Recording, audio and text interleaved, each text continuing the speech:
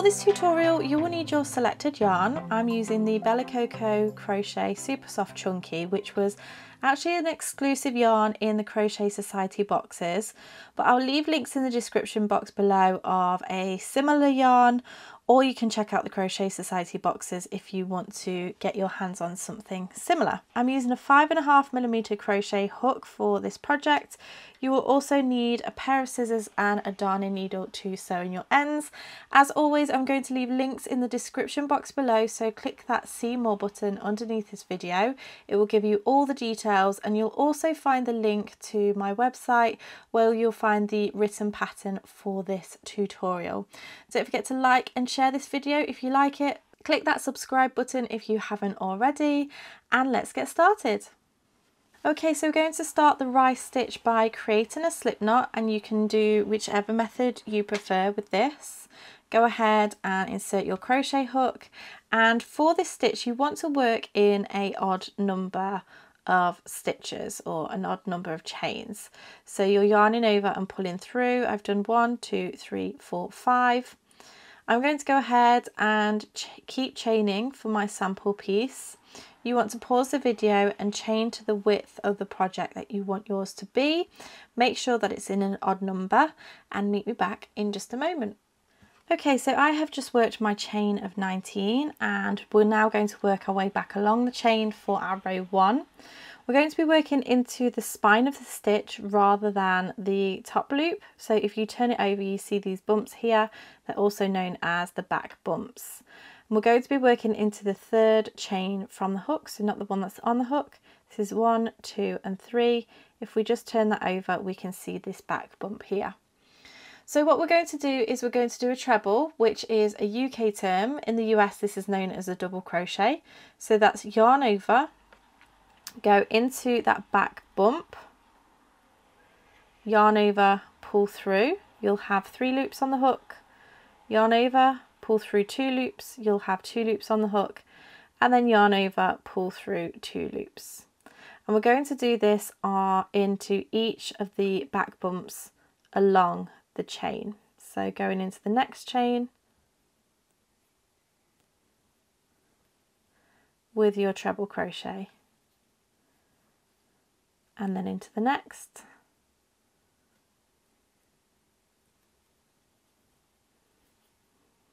and you want to continue all the way to the very end of your chain. So go ahead, pause the video, work those stitches into the back bumps and meet me back once you're ready. Okay, so once you finish row one, we're going to move on to row two and row two is actually the same row that you're going to repeat over and over again.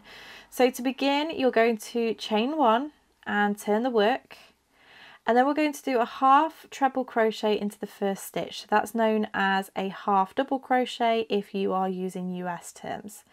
So that's yarn over into that very first stitch, yarn over, pull through, you'll have three loops on the hook, and then yarn over, pull through all three loops on the hook, and that is your half treble crochet.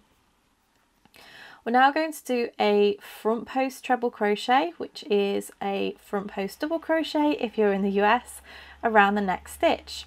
So the way that we do this is yarn over, we're going to insert our hook behind that next stitch. Yarn over and pull through, three loops on the hook, yarn over, pull through two, and then yarn over, pull through two. So we've just pushed that stitch forward. We're then going to do a back post treble crochet, which is back post double crochet in the US. Yarn over. This time we're going to go around the back of the work and bring our hook forwards and around that next post. Yarn over, pull through. That one can be a little bit more tricky.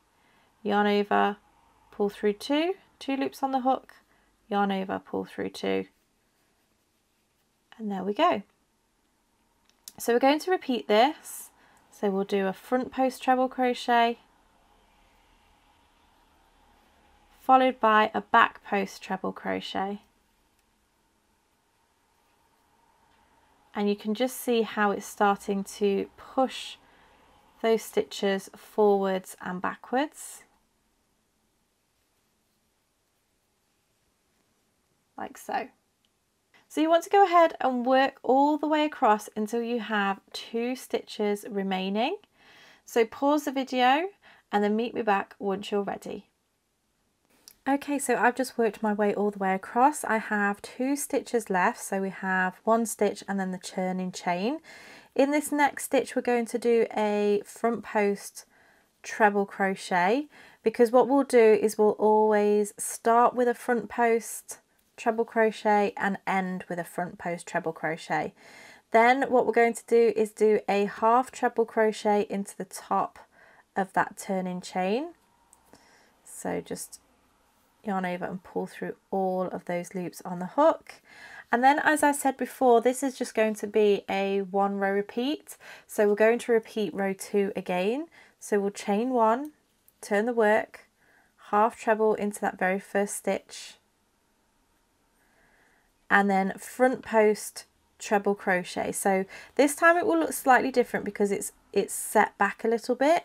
So we'll just do the same thing and going round that post and doing our treble crochet. And then again, yarn over, go around the back of the work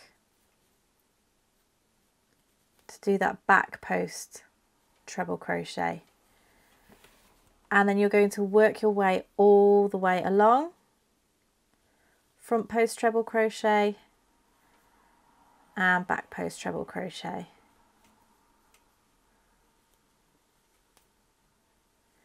So I'm going to work my way until I have two stitches remaining.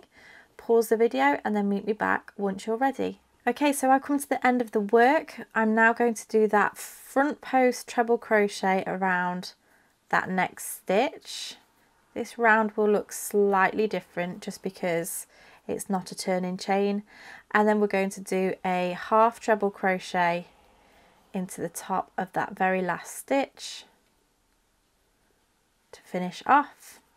So you're just going to repeat that over and over again until you get to the height of project you want.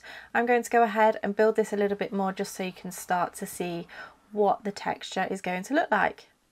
Okay, so I have now completed a few more rows and as you can see it looks absolutely beautiful.